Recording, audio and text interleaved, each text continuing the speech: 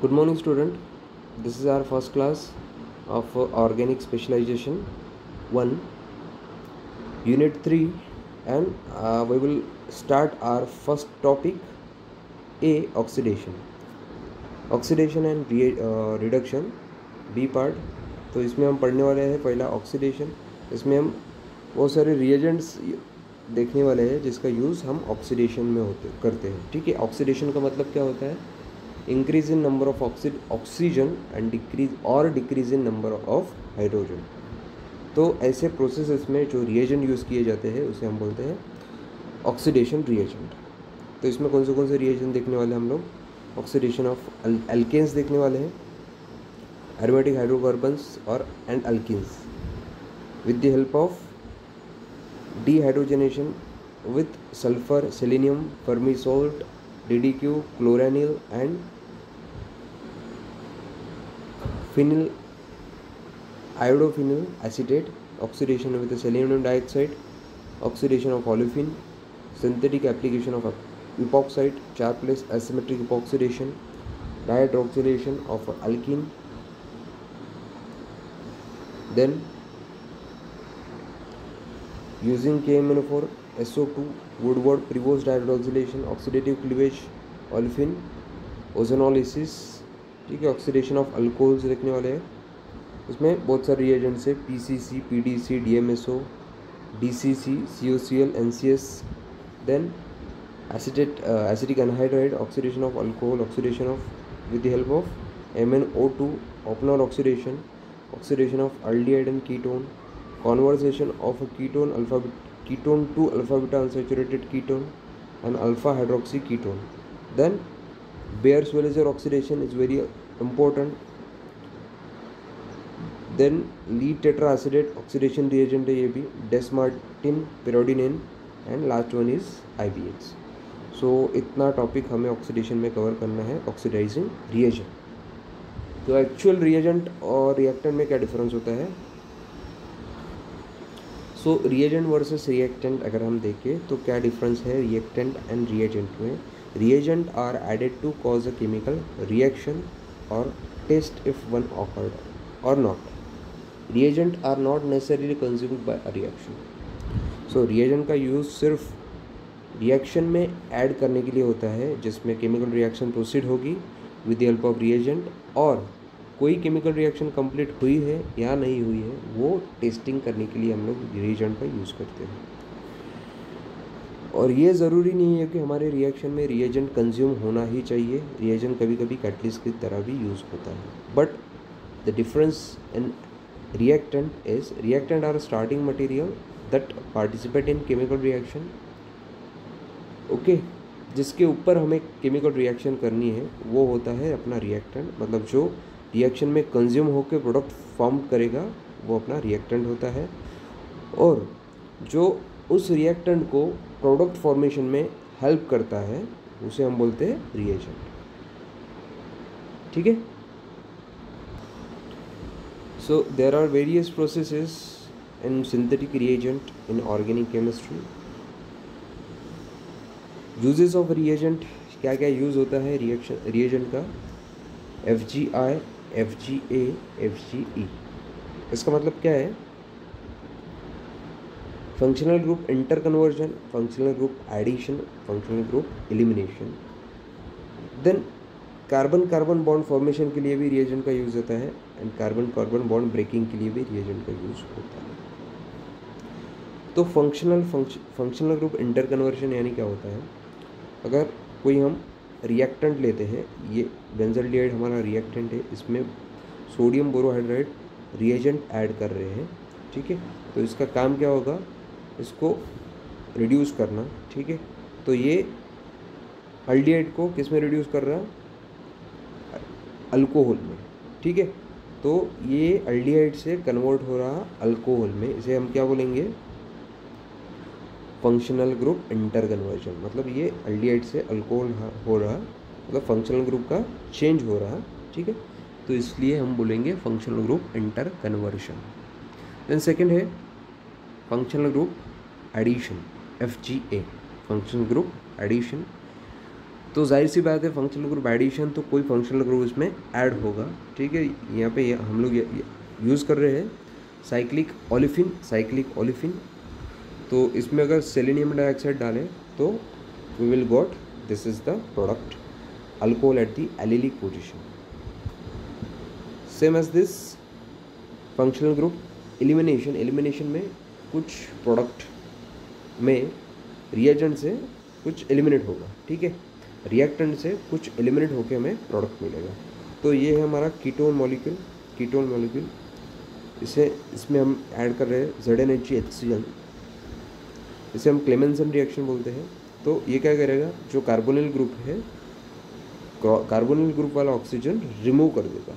And we will got cyclohexane so this is the process which are we will discuss in the further reactions in the reagent part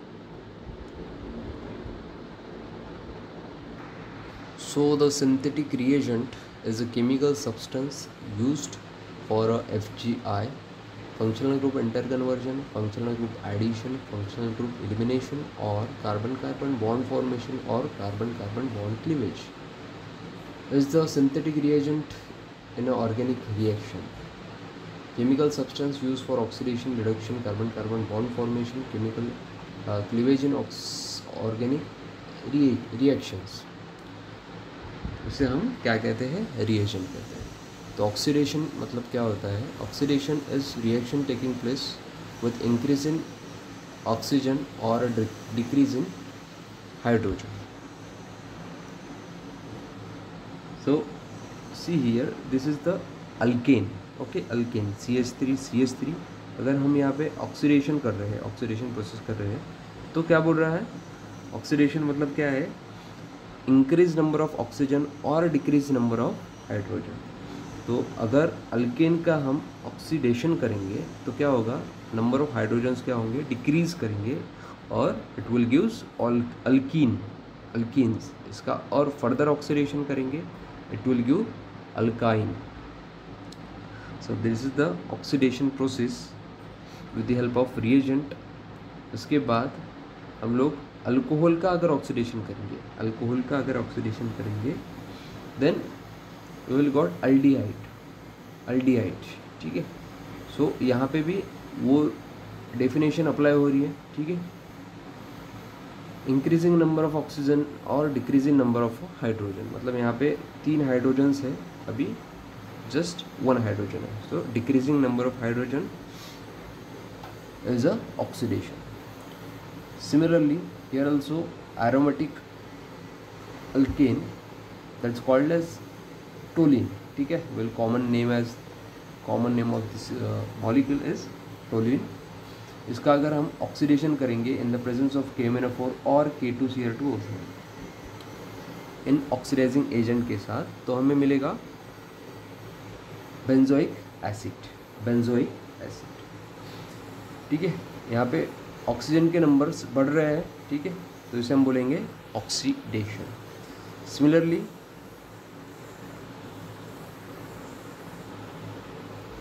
here also alkene is there and alkene के ऊपर हम oxidation कर रहे हैं with the help of peracid peracid C O three H C O three H C O three H C O three H तो हमें क्या मिल रहा है? Epoxide this is called epoxide epoxide मिल रहा है। मतलब नंबर ऑफ़ ऑक्सीजन व वेर इंक्रीजेस तो इसे हम बोलेंगे ऑक्सीडेशन इसके बाद है रिडक्शन रिडक्शन मतलब क्या होता है? Reduction taking place with increase in number of hydrogen और decrease in number of oxygen जहाँ पे नंबर ऑफ़ हाइड्रोजन्स इंक्रीज होंगे और नंबर ऑफ़ ऑक्सीजन्स डिक्रीज होंगे, इसे हम बोलेंगे रिडक्शन तो for example to explain this definition will take this example that is alkene इसे हम लोग इसमें अगर हम लोग रिडक्शन प्रोसेस करवाएँगे तो क्या होगा? जो अल्किन जो है double bond carbon carbon double bond वो रिड्यूस होकर सिंगल बॉन्ड बन जाएगा। ठीक है? सो हमें मिलेगा अल्केन अल्केन पहले अल्किन था, उसके ऊपर रिडक्शन किया तो अब मिला alkene same as that this molecule is hexanon hexanon hexanon के ऊपर हम लोग रिडक्शन कर रहे हैं with the help of Z N H G H C L इसे हम बोलते हैं क्लेमेंसन रिएजेंट क्लेमेंसन रिएजेंट अगर डालेंगे तो हमें क्या मिलेगा? साइक्लो एक्सेन मतलब जो कार्बोनिल ग्रुप है वो रिड्यूस हो जाएगा और हम बोलेगा साइक्लो एक्सेन सो so, एक और एग्जांपल देखते हैं रिडक्शन का। ये है nitro alkane nitro alkane R N O two, इसमें अगर हम रिडक्शन करेंगे with the help of lithium aluminium hydride ये एक रिडक्शन रिड्यूसिंग एजेंट है तो ये जो नाइट्रोजन मॉलिक्यूल इसे रिड्यूस करके अमाइन में कन्वर्ट कर देगा। ठीक है? तो इसके जो ऑक्सीडें ऑक्सीजन्स है, वो डिक्रीज हो रहे हैं, वहाँ पे हाइड्रोजन्स बढ़ रहे हैं। सो इसे हम बोलेंगे reduction process so oxidising agent use for oxidation reaction and reducing agent used for reduction reaction. And then, यहाँ पे आते हैं ऑर्गेनोमेटेलिक रिएजेंट ऑर्गेनोमेटेलिक रिएजेंट का यूज़ क्या होता है? उसका यूज़ हमें carbon carbon bond making and bond breaking breaking के लिए यूज़ होता है, ठीक है? ऑर्गेनिक ऑर्गेनोमेटेलिक रिएजेंट वो सारे रिएजेंट हम लोग डिस्कस करेंगे. This is the list of a synthetic reagent जो हम लोग अभी एक एक करके पढ़ने वाले हैं। यहाँ पे सारे रिएजेंट अवेलेबल है। Oxidising agent reducing agent organometallic agent तो सबसे पहले हम स्टार्ट करेंगे ऑक्सीडाइजिंग एजेंट तो ऑक्सीडाइजिंग एजेंट में कौन से कौन से रिएजेंट है? K M N O four K two C R two O four H two C R O four O three means ozone ozonolysis के लिए यूज़ होता है O two H N O three D D Q selenium dioxide N B S और N B S then H I O four periodinane lead tetraacetate I two and osmium tetroxide these are some oxidising agents oxidising reagent जिसमें हम जिसे, जिससे हम लोग oxidation process proceed करा सकते हैं ऑन दी रिएक्टेंट ठीक है? इसमें कुछ रिड्यूसिंग एजेंट भी है। They are lithium borohydride sodium borohydride catalyst with H two इससे भी हम रिडक्शन कर सकते हैं। मेटल्स का यूज़ कर से भी करके भी हम रिडक्शन कर सकते हैं। मेटल प्लस एसिड का यूज़ करके भी हम रिडक्शन कर सकते हैं। मेटल प्लस बेस इसे हम बर्च रिडक्शन के नाम से भी जाना जाता है, जिसमें हम लिथियम प्लस लिक्विड अमोनिया लेते हैं लिक्विड अमोनिया इससे हमें पार्शियल रिडक्शन मिलता है, ठीक है? इसके बाद सोडियम बोरोहाइड्राइड ठीक है बी एच थ्री भी रिड्यूसिंग एजेंट करके काम करता है। A L A L H three A L H three इसे हम अलेन बोलते हैं कॉमनली नोन एज अलेन। ये भी similar as a lithium borohydride के जैसे ही काम करता है। तो ये हो गए हमारे reducing agents now organometallic reagent are organo magnesium जिसे हम ग्रिगनाट रिएजेंट भी कहते हैं organo lithium organo copper organo zinc organo boron organo phosphorus organo cadmium mercury and tin reagent इस रिएजेंट का यूज़ हमें कार्बन कार्बन बॉन्ड फॉर्मेशन और breaking के लिए किया जाता है।